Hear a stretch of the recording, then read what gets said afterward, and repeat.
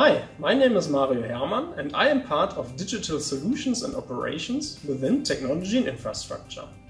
Together with my colleague Isabel Teschke, I am responsible for the program Digitalization at Antwerp. The goal of the program is to test, roll out and integrate numerous digital solutions at the site of Antwerp to develop Antwerp into a digital beacon site. The joint approach seeks to improve end-to-end -end processes and to realize synergetic effects. Increased process efficiency, transparency and safety lead to savings in the areas of production, technology, supply chain and IT infrastructure. The experience we gained in Antwerp can be used as a blueprint for the digital transformation of other sites.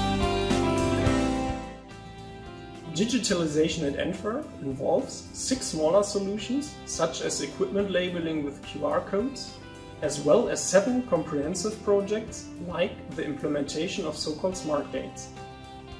Smart gates can track and recognize logistic equipment like for example box containers and tank cars with the help of an automated camera system.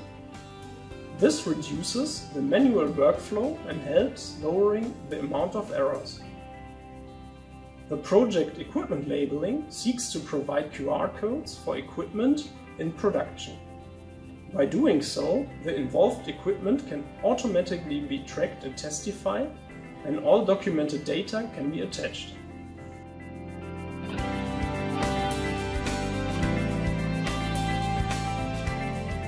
Evonik, leading beyond chemistry.